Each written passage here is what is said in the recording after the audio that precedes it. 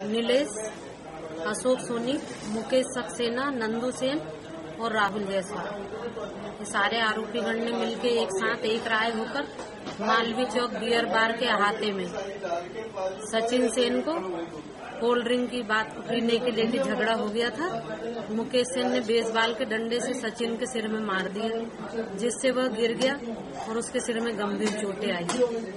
जाँच के बाद पुलिस ने चार्जशीट न्यायालय में प्रस्तुत की न्यायालय में साक्ष्यों के आधार पर मुकेश सक्सेना को दोषी पाया गया। अपराध की गंभीरता तथा प्रकरण के अन्य तथ्य और परिस्थितियों को दृष्टिगत रखते हुए माननीय न्यायालय, विशेष न्यायाधीश श्रीमती आशा गोधा के न्यायालय से मुकेश को दोष सिद्ध पाया गया, जिसे सात वर्ष का कठोर कारावास और सात हज़ार रुपये के अर्थदंड से दंडित किया।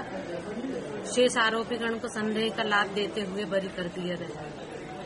आपका नाम